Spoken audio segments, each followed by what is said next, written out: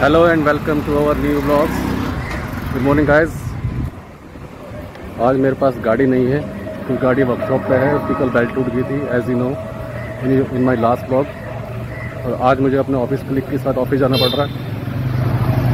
I am on the way and he is coming hello friends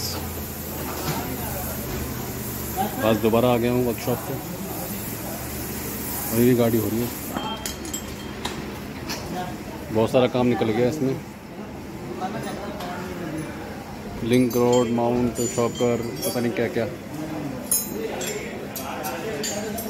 तो देखो ठीक ठाक चले गाड़ी तो। वो भी लगे हुए हैं, काम में, काम चल रहा है। देखो होपफुली हो जाए आज। ये देखो। सही से कर देना यार फिट सारा। एज इट इज़ जैसा है।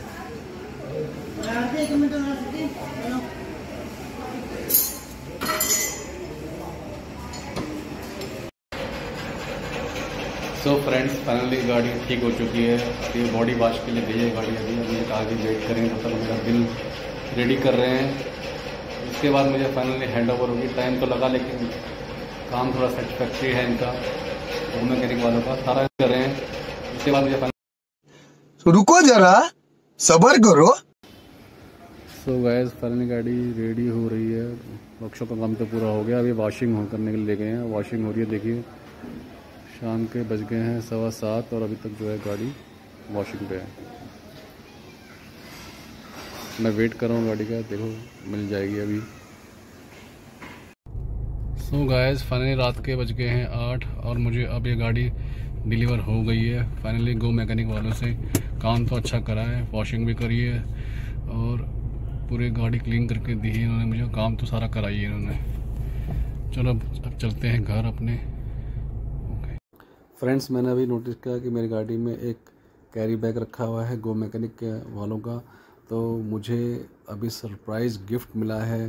तो फ्रेंड्स जब ये गिफ्ट रैप खुलेगा तो पता चलेगा कि इसके अंदर क्या गिफ्ट है। फ़िलहाल नौ बज चुके हैं रात के और मैं बहुत थक गया हूँ।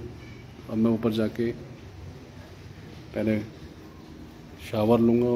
सो गए रात के बज गए हैं साढ़े दस और आज मैं खुद लेट हो गया ऑफ़िस से आने में क्योंकि मुझे गाड़ी लेने जाना था। एज यू नो कि कल मैंने गाड़ी अपनी सर्विस पे दी थी क्योंकि उसमें कुछ फॉल्ट आ गया था और उन्होंने मुझे शाम को पाँच बजे बुलाया लेकिन उन्होंने डिलीवर करी मुझे आठ बजे, तीन घंटे लेटर बिठाया और उसके चक्कर में मैं बहुत थक गया हूँ।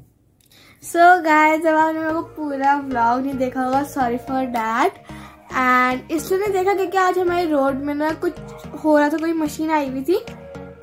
और वो इतनी तेज आवाज़ करी थी मतलब ऑलमोस्ट वो शाम तक थी और शाम तक ब्रुम ब्रुम ब्रुम तो फिर इसलिए मैं वीडियो भी नहीं बना पाई ताकि आपको आवाज़ क्योंकि आपको आवाज़ मेरी क्लियर नहीं आ पाएगी। सो so, मैं आपने पापा की एक्टिविटी तो ज़रूर देखी होगी। तो आपको अगर ब्लॉग अच्छा लगे तो लाइक करें शेयर करें सब्सक्राइब करें।